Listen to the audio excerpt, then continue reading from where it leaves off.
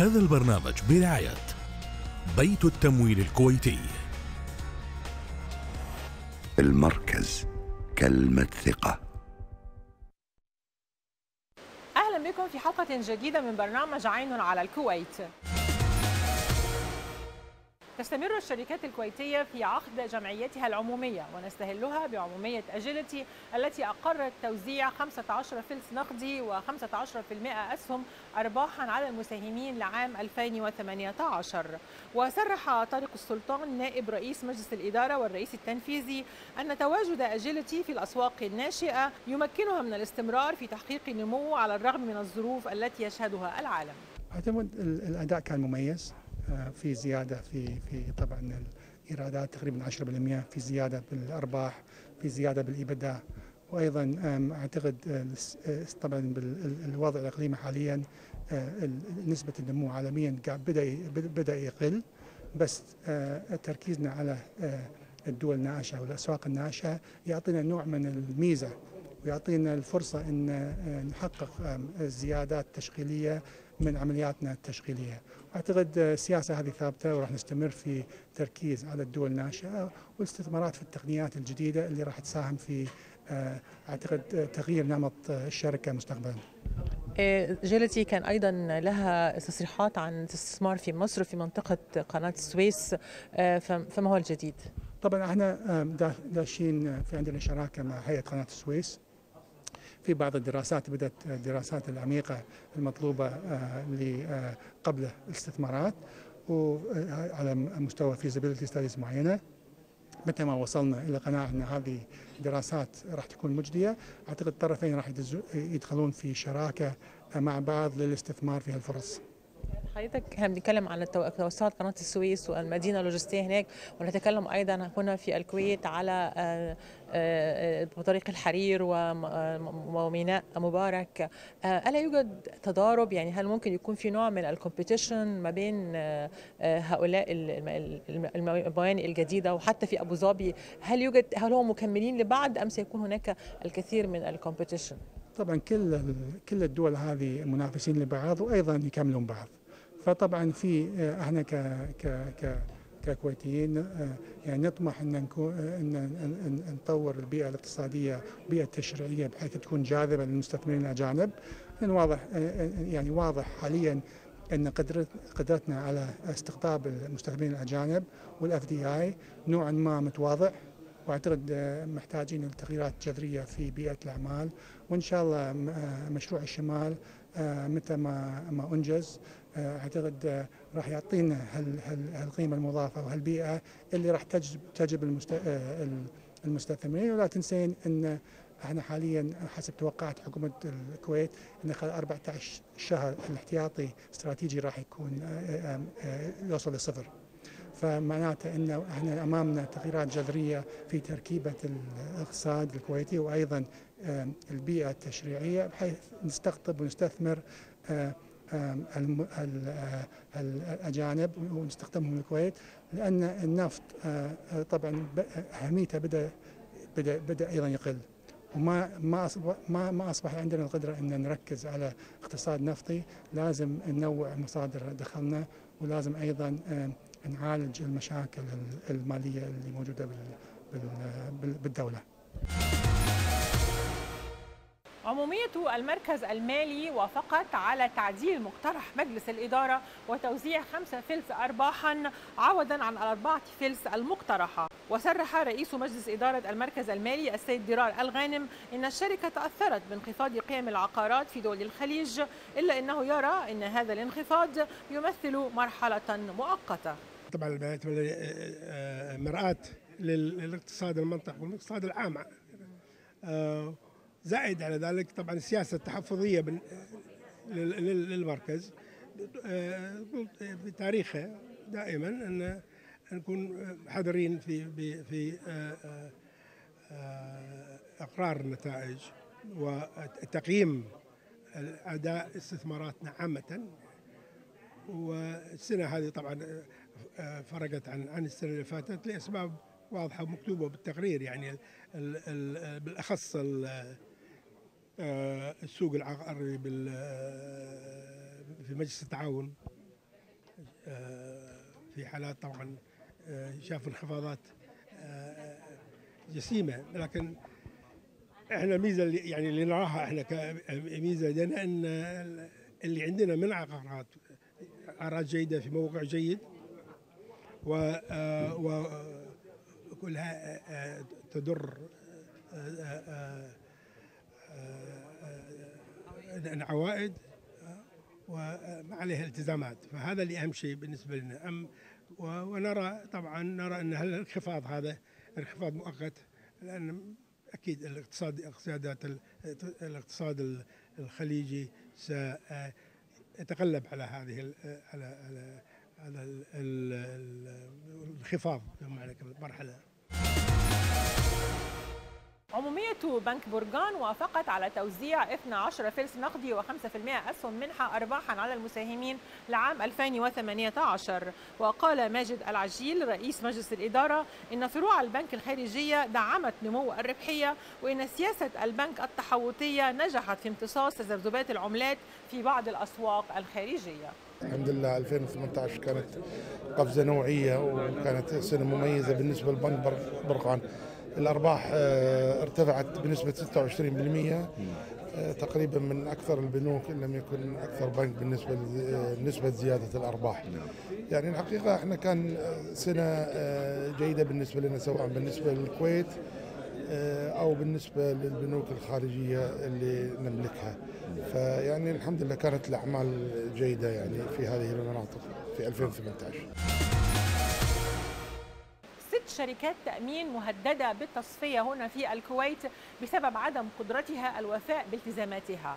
قضية وضعت قطاع التأمين تحت المجهر مرة أخرى وأبرزت التحديات التي يواجهها القطاع في ظل غياب جهة رقابية متخصصة كما هو معمول به في كل العالم. يشهد قطاع التأمين في الكويت منذ سنوات تحديات كثيرة أثرت على أداء هذا القطاع الحيوي الذي يشكو دائما من الإهمال في ظل عدم وجود قوانين ملائمة منظمة وغياب جهة رقابية متخصصة مما أدى إلى حرق الأسعار والمنافسة الشرسة بين الشركات. ويعمل في الكويت 36 شركة تأمين مقارنة ب 32 شركة في المملكة العربية السعودية مع فارق حجم السوق. ويبلغ حجم سوق التأمين في الكويت نحو 400 مليون دينار. وهناك أحاديث متداولة حاليا أن هناك ست شركات تأمين مهددة بالتصفية لعدم قدرتها الوفاء بالتزاماتها. ويتم حاليا في مجلس الأمة دراسة قانون لتنظيم قطاع التأمين حيث إن القانون الحالي صدر في الستينات كما إن قانون وزارة التجارة لا يسمح لها بفض المنازعات أو تنظيم العمل بالصورة المطلوبة. ويسعى القائمون على هذا القطاع إلى الإسراع في إصدار القانون الجديد الذي يعتبر حماية لهم من مخاطر الفوضى الحالية. مع كل أسف أقول أن قطاع التأمين ما زال قطاع ضعيف يحتاج إلى إعادة هيكلة يحتاج إلى اهتمام من مسؤولي الحكومات المعنية بهذا القطاع من مراقبي التأمين. آه، محتاجين تطوير قوانين محتاجين آه، بيئة تشريعية أفضل لزيادة التأمين الإلزامي وزيادة الوعي التأميني للآخرين.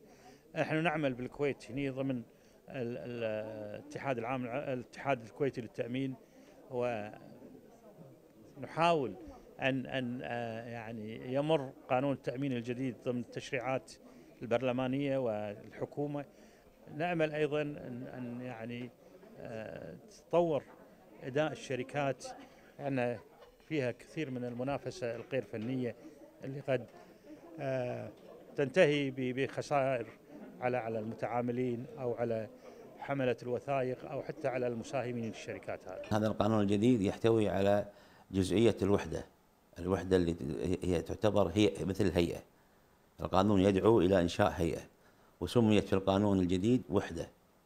فبالتالي أتمنى إن شاء الله أن يرى القانون النور قريبا خاصة الآن يعني حسب ما نسمع في الميديا أن في توافق ما بين مجلس الأمة ووزير التجارة والحكومة على إنشاء هذا القانون بما هو يحمل هذا هذا المضمون. وإذا صار في وجود عندنا إن شاء الله هذا القانون وتفعيله ووجود الهيئة أو الوحدة هذه ايا كانت نوعها أنا لا, لا أعلم ماهيتها آه، راح يرى السوق خلال السنوات القادمة على الأقل ثلاث سنوات القادمة تحسن إيجابي وملحوظ. بنود كثيرة في القانون تعطي مراقب التأمين القدرة على اتخاذ إجراءات في حال اكتشاف أي آه، ضعف في الملاءه المالية لهذه الشركات. لأن اليوم في هذه الأثناء هذه الربع هذا اللي انتهى الربع الأول والربع الأخير نسمع عن أن هناك شركات سوف تتصفى أو يطلب تصفيتها لعدم أدائها التزاماتها وهذه الالتزامات متمثلة بشقين. الشق الأول هو شق الاستردادات. هي علاقتها الريكفري ما بين شركات التأمين أنفسها. فهناك شركات لا لا تؤدي ما يستحق عليها للشركات الأخرى. وهنا نشأت عندنا أزمة استرداد وهذه الأزمة لا تستطيع القوانين الحالية أن تفصل فيما بينها. كثير من الشركات لجأت إلى وزارة التجارة والصناعة تطلب منها التدخل في إجبار الشركات أن تدفع للشركات التي تستحق لها هذه الأموال عن طريق الاستردادات أن تدفع لها ولكن الوزارة لا تستطيع أن تعمل لعدم وجود أداة قانونية. بعد الفاصل نصطحبكم في جولة إلى معرض اليخوت في نسخة عام 2019 كونوا معنا.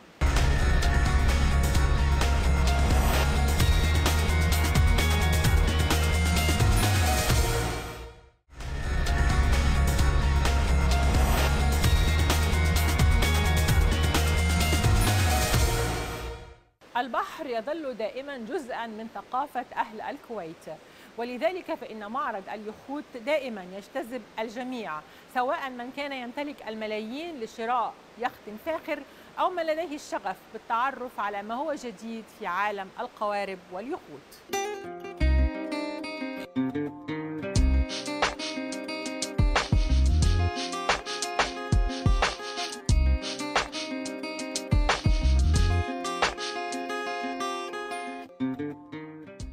عام بعد عام ومعرض بعد آخر يكبر ويتسع ويتطور. معرض الكويت الدولي لليخوت وقوارب النزهة. الرياضة البحرية الأكثر شغفا والأوسع إقبالا في الكويت. والمعرض ليس منصة للتسويق والبيع وحسب بل هو فرصة للتعرف على الجديد والحديث الإبداع والابتكار في عالم الطراريد الصغيرة أو اليخوت الكبيرة وفي كل ما يتعلق بهذه الصناعة. إحنا عندنا الماكينة الجديدة آخر ما سوت سوزوكي 350 هذه ماكينة 6 سلندر 4400 سي سي.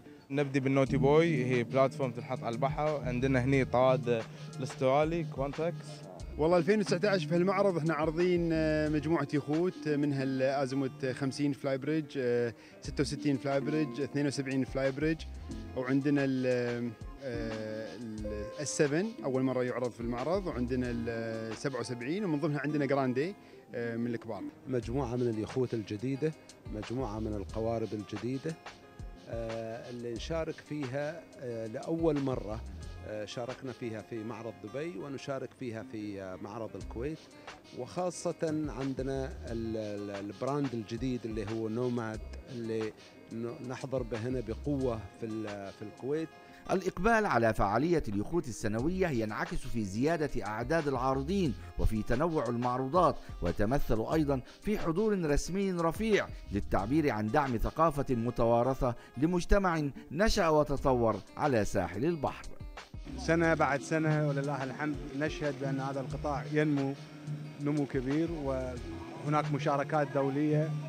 أذكر العام الماضي المشاركة كانت أوسع من السنة اللي قبلها والآن حسب الجولة اللي اتفقتها واضح بأن هناك مشاركات دولية في معرض اليخوت قطاع الصناعة البحرية في الكويت قطاع نشط من عمره لو إنما كثير من الإصلاحات تمت على هذا القطاع طورت من أعماله. فمثل ما أنتم مشاهدين الحمد لله بأن سبع سنوات الآن والمعرض من سنة إلى سنة من أحسن إلى أحسن. وفي نسخة 2019 يرفع المعرض أكثر من شعار للصناعة بالنسبة للقوارب أو المحركات فهي قوة أكبر وهي توازن أكثر وهي ألومنيوم وفايبر وهي كهربائية وهي أيضا شمسية. نحن نقدم لأول مرة يخت يعمل بالطاقة الشمسية في هذا المعرض. وهذا شيء جديد يعني في عالم اليخوت لكن نحن نأمل إن شاء الله في المستقبل أن يكون عندنا يخت يعمل كل هايبريد لأن أصبحنا يعني متحكمين ومسيطرين ونعرف أسرار هذه الصناعة بحيث يتيح لنا أن نبتكر ونقدم وليس نقلد كما كان في- السابق.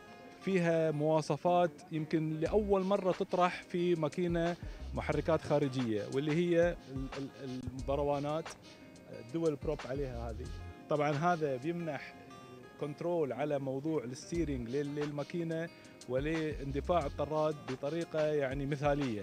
إحنا هني هالسنة مثلا عندنا أغلب اليخوت اللي موجودة ال superstructure اللي هي فوق سطح ال- ال- القارب اللي هو خلينا نقول نص القارب تقريبا من فوق carbon fiber full carbon fiber فطبعا هذا آه، تكنولوجيا ما تعتبر جديدة في في خلينا نقول في قطاعات صغيرة في اليخوت ولكن تعتبر جديدة في هذا الحجم. لا يقف الاهتمام بفعالية اليخوت السنوية بالجديد والأسعار وحسب فركوب القارب أو التنزه على متن يخت يشمل طيفا واسعا فيه عشرات المكونات والأعمال.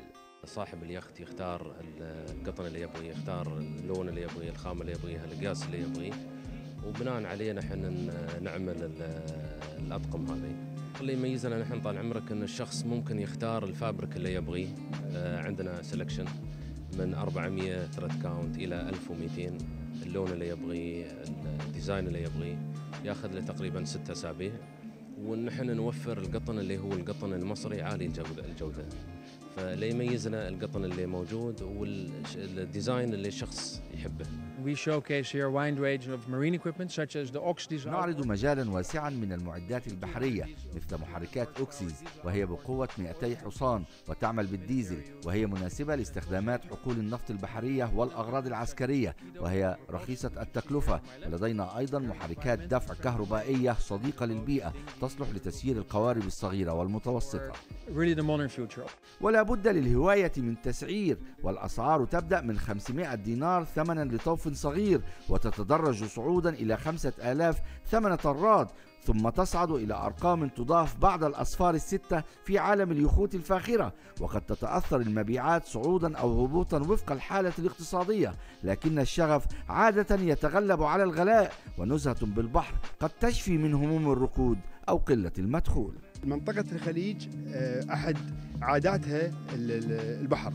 فالناس دائما يعني ملاذهم يكون البحر فبالتالي هذا شيء عشق بالنسبة لهم. آه، له سبب ما نشوف في drop ما نشوف يعني drop آه، آه، قوي في آه، في السوق. حتى في حالات الانكماش آه، أنت تحتاج للترويح عن النفس والتخلص من القلق للانكماش. أحسن طريقة للترويح عن النفس والتخلص من القلق هو ركوب البحر ونحن نقدم هذا. ركوب البحر والمتعة بالبحر. شو تعمل في حالة الانكماش وحالة الكساد؟ أنك تتمتع بالأموال اللي عندك وتتمتع بما عندك بأنك تركب البحر. يواجه شارع الصحافة في الكويت تحديات كثيرة في ظل تراجع المداخيل من الإعلانات وأيضا في ظل المنافسة الشرسة من ال social media والمواقع الإخبارية في صناعة الخبر. والكويت لها تاريخ طويل في الصحافة فهي أول من أصدر في الخليج مجلة مجلة الكويت وهي من أصدرت مجلة العربي منارة عربية ثقافية.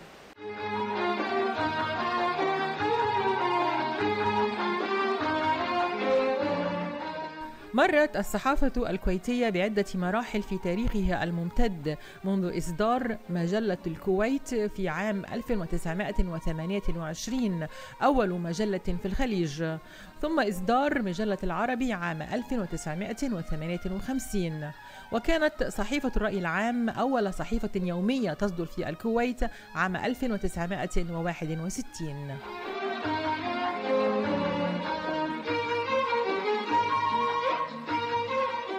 وشهدت فترة طفرة البورصة الكويتية قبل الأزمة الاقتصادية عام 2008 إصدار عشرات من التراخيص حتى وصل عدد الصحف إلى نحو 20 صحيفة يوميا.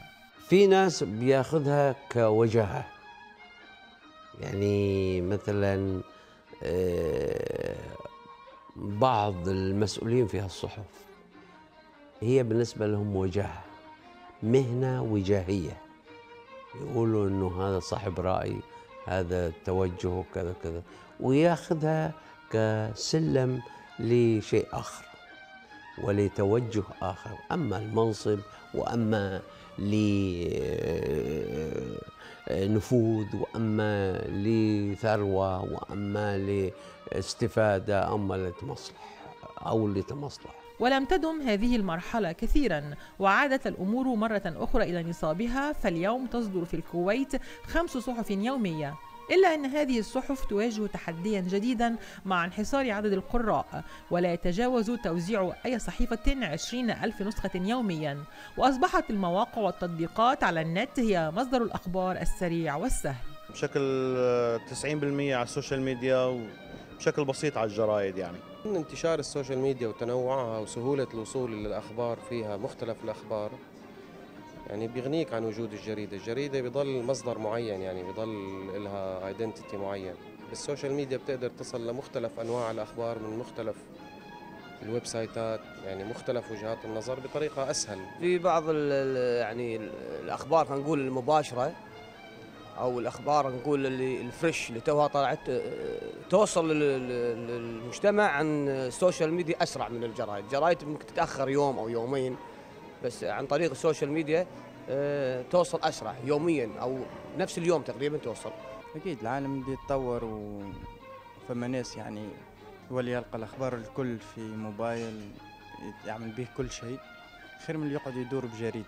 وغطت المواقع الإخبارية على مهنة الصحافة وتغيرت ثقافة المهنة ولم يعد الصحفي هو مصدر الخبر. الآن الصحفي الحالي ما استطاع يواكب الثورة التقنية اللي موجودة. بالأول ما فيها الثورة اللي شو اسمه. ولذلك العالم كله تعرف مصطفى أمين على اليمين هيكل هل هالمجاميع والأسماء الحلوة شو اسمه. إنما الآن يعني الصحفيين الموجودين أو أغلبهم تلاقي ما استطاع يواكب ما عليه الصحافة من تقنية عالية الآن. زي ما قلت أنت تفتح جوجل تلاقي اسم أمه أخته وخالته تلاقيها بالجوجل يعني. حضرتك ما ما كنت مشترك بجريدة قبل؟ كنت مشترك بجرايد قبل بس حاليا ماني مشترك. أنا لا بس والدي مشترك بجريدة بشكل دائم وأنا أحيانا يعني بشكل متقطع يعني. لا أنا بطالع الجرائد المتاحة لي يوميا.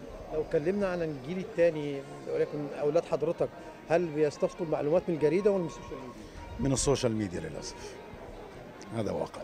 وتحاول الصحف مواجهة التحديات من خلال التوجه إلى الأونلاين تدريجيا وتقليص كلفتها فتم تسريح عشرات من الصحفيين وتوقف إصدار يوم السبت وتم تصغير حجم الجريدة وأعداد صفحاتها. على فكرة ترى كل هذا في في الصحف السعودية في الصحف المصرية في صحف الخليج نفس الشيء. في صحف كانت في السعودية وفي دولة الإمارات كانوا يصدروا ب 90 صفحة 80 صفحة. اليوم 30 25 24 32 ومع تطور التكنولوجيا وهيمنة المواقع وتحول مزاج القارئ يبقى السؤال هل ستستطيع الصحف الصمود أم إنها ستتلاشى وتصبح تاريخا نتذكره ونتندر عليه؟ والله ممكن إذا يعني ما شاء الله إحنا في عالم تطور الحين وال social media في تطور بعد تطور ممكن بالمستقبل ما نحتاج إلى الأخبار الورقية هذه يمكن أتوقع تختفي نهائيا يمكن. والله أظن ستختفي بس بوجود يعني الدعم لبعض الجرائد أو يعني حتضل موجودة يمكن لفترة أطول وخصوصي ببلادنا يعني العربية. تعتقد إن في يوم من الأيام هتختفي الجريدة الورقية من حياتنا؟ اليوميه؟ أتمنى لا. أتمنى لا. مؤشرات تقل لكن لا تموت.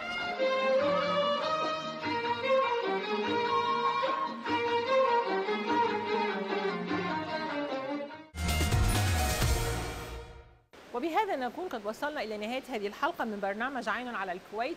نراكم الأسبوع القادم في حلقة جديدة بإذن الله.